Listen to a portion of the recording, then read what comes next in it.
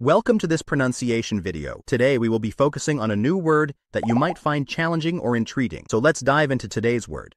NASCAR, which means a U.S. car racing organization known for stock car races. Let's say it all together. NASCAR. NASCAR. NASCAR. One more time. NASCAR. NASCAR. NASCAR.